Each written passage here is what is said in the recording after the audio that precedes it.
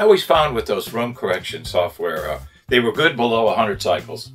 Because, you know, less energy below 100 cycles is always welcome almost in any room. But I, I never liked what they did to the mid-range, and I never liked what they did to the soundstage. They Yep. seemed to kind of pull or push everything together, and it was got too crowded, and Right, you right, couldn't separate. right. So uh, I, I, you know, I have a bias against them. I guess I haven't heard any uh, new ones lately, so I, I don't know uh, what what the situation is. But the process that I went through with Sam, just so those of you out there know, I have a database of uh, 128 rooms now that I built and measured.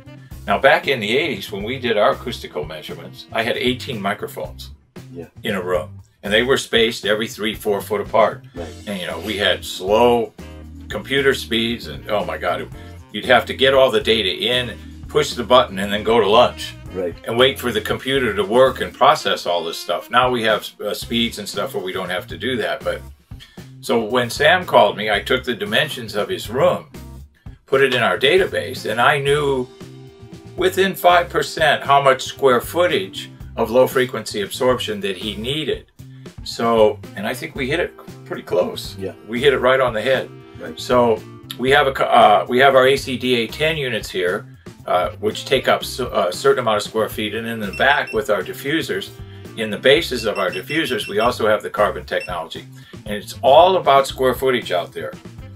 Think of think of your room as a glass of water, and you got too much water in your room, so we have to bring the water level down. So we're going to drop sponges in the glass to lower the water level. How many sponges, where to put them, and stuff that's all uh, data that I have in my database. So we really don't need to spend a lot of time in measurements and stuff because I've already done that. Now, are we going to hit it right away, first time? Most of the time we get pretty close. It might be a one or two unit difference, but that's uh, fixable and we can fix that. So um, it's a nice, convenient way to do it. And I was in Los Angeles, you were in Chicago, and now I'm back in Chicago listening to the results of our uh, fix, and it, it's incredible. And uh, Sam's very happy w- with the low end in his room, and his wife's happy. Yes, I am very happy, and uh, I am uh, very happy with the uh, with the response. Whenever I called you, you're always there to because I mean, you know, I'm in Chicago or somebody else is in New York, you're in Los Angeles. If you're gonna make an investment, uh, you're not gonna just give your money away. You're gonna make sure that it's uh, you're gonna get what you're asking for, and the and the person on the other uh, line is gonna support the product, and uh, Dennis got paid a while back, so he doesn't have to be doing this, and he's here, you know, and then he was supportive after the fact. There's some some places, some people after they get paid, they don't return your phone call, and you know. But uh, my experience was very, very good. I'm very happy with the experience. I'm very happy with the results. And uh, I mean, even talking here, I like the sound of my voice now. You know. No, it's effortless. yeah. I like to talk loud. I have Yeah. a real boom voice, but Yeah. I find myself in, in my rooms with, with foam that uh, I, I keep uh, things a lot uh, smoother. Yeah. Had you had diffusion on your rear wall before? Uh, we had uh, no. Well, I had. Uh, I would call quasi diffuser, just two pieces of wood, Oh. on, on an angle, and some foam behind it. Oh, But uh, it was uh, mainly like a bass trap. Ah.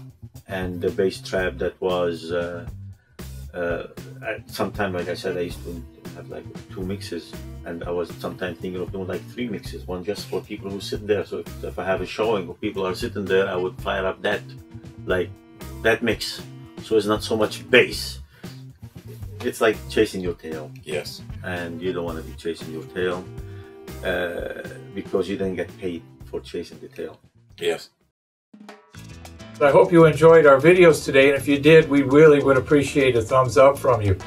If you have any questions or comments, you can go to the comment section, or you can go to our website, acousticfields.com, and fill out the contact form.